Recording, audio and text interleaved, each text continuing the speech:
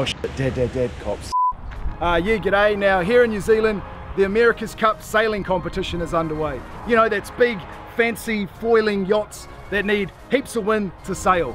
Now, uh, one of the team sponsors, The Market, uh, well, they're launching a competition where Kiwis can back our team with extra wind. Now, I got wind of this competition and I'm putting a stop to it because one, I'm like the biggest fan, and two, I've also got the biggest fan. Oh, and that's my dad. Wave. Bloody starlings. So uh, this is my old man's fan boat.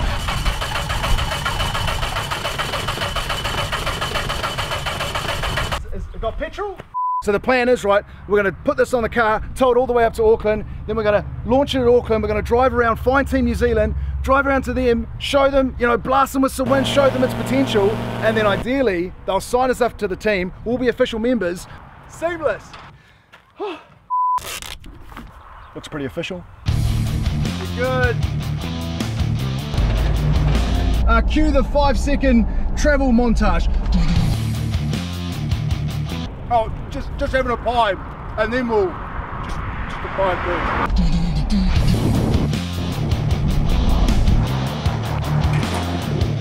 Right, we're here. Geez, I'm nervous, but I have no doubt that if we pull this off today, we're going to become official members of Emirates Team New Zealand. Right, we're just need to go find them first. You good? We, we got some cameras set up. You good?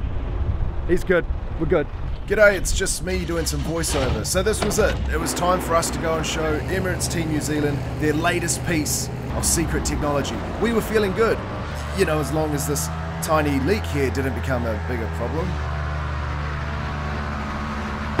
We didn't have time to worry about small leaks, we had a job to do.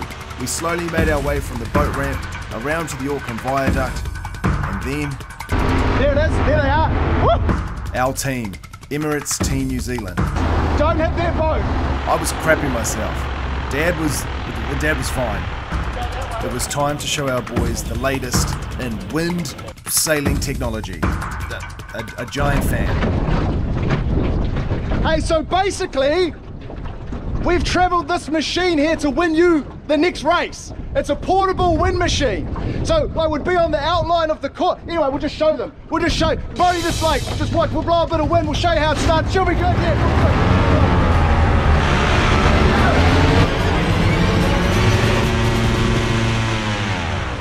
We've done it. We came here to pitch our amazing piece of technology. But was it enough? Well, thumbs up. That guy's smiling. That guy's smiling. He's smiling. He's smiling, smiling, smiling. Uh, he, he's not smiling and also on the phone to someone, but oh well. We'd done it. A- and then this happened. Oh, dead, dead, dead. Turns out they just wanted a bit of a chin wag, a quick selfie, and we were left alone to go and hang out with our new teammates.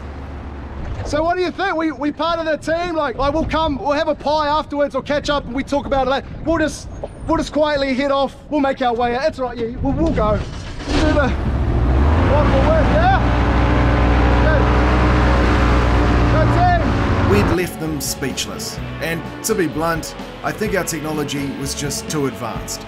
We may still be waiting for that pie date with our new teammates and not sure if, you know, we are actually part of the team, but we left that viaduct feeling like heroes, even if the cops were still weirdly stalking us.